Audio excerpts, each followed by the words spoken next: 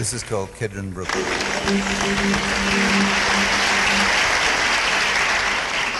In the last light of evening sun, when the summer grasses spoke of early dew, I took an unfamiliar turning. And so I wandered in the power of some strange subconscious yearning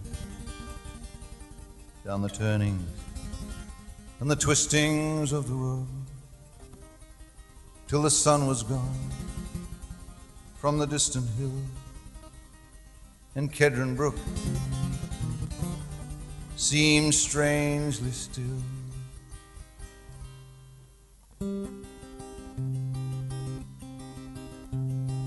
Visions of sunsets and soft summer skies, like cellophane papers that danced in my eyes.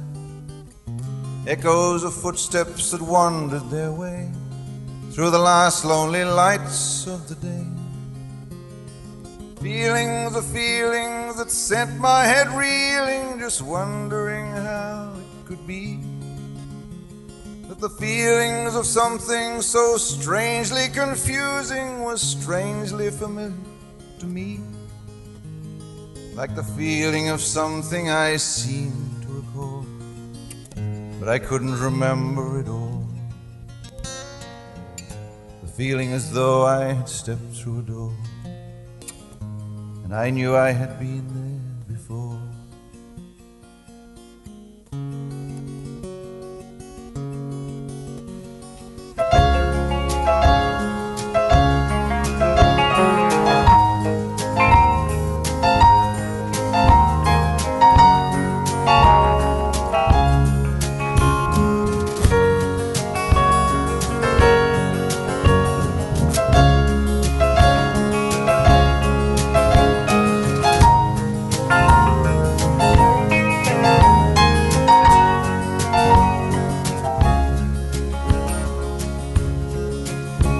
when the gentry were waltzing to the gentle Maxinas and the hansom cab sway like young ballerinas, and life was as sweet as an old concertina that rattled its way through a holiday.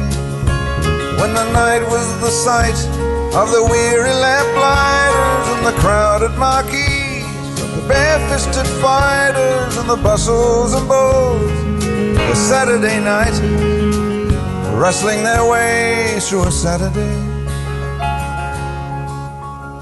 When the world twirled around to an old fashioned sound, and the seasons were young in the ground. Did I once stand there at Kedron Brook, watching the sun going